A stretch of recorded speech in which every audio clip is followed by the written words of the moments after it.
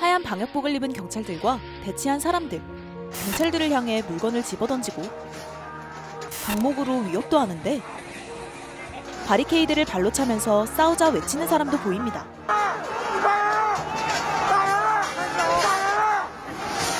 하지만 경찰이 휘두르는 곤봉엔 속수무책.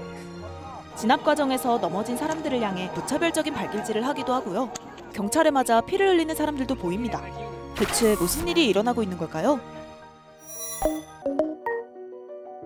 얼마 전 크랩에선 중국 아이폰 공장 노동자들이 코로나로 봉쇄된 입구를 뚫고 탈출 러쉬가 벌어졌다는 소식 전해드렸는데요.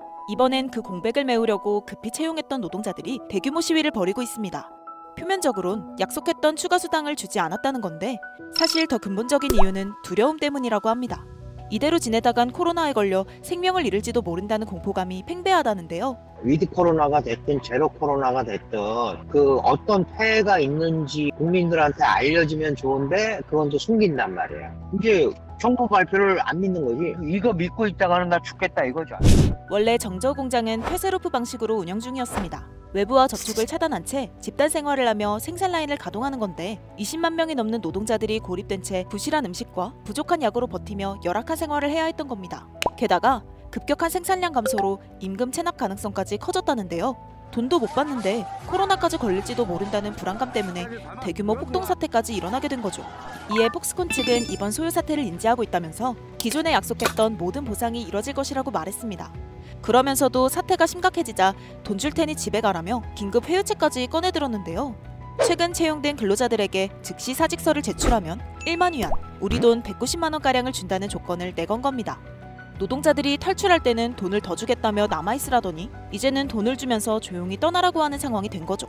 애플 본사도 조사팀을 파견해 상황을 파악 중이라고 하는데 중국 당국은 모르쇠로 일관하고 있습니다. 呃，我不了解你提到的有关的情况，呃，这个也不是外交的问题。 사실 중국 사람들은 당국의 제로 코로나 정책을 몇 년간 잘 따라왔습니다.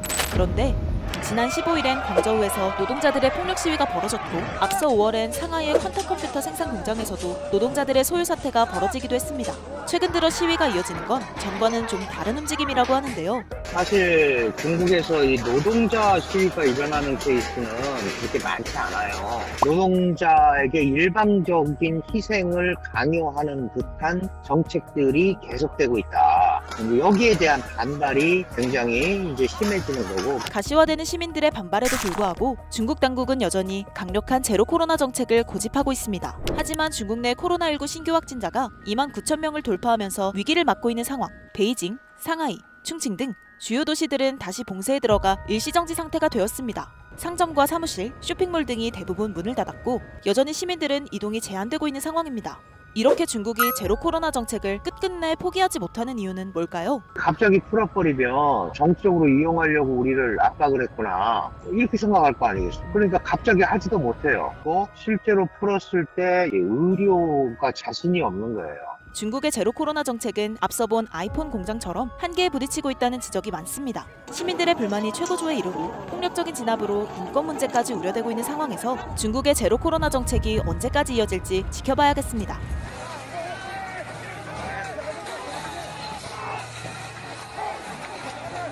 轻一点，给他轻一点。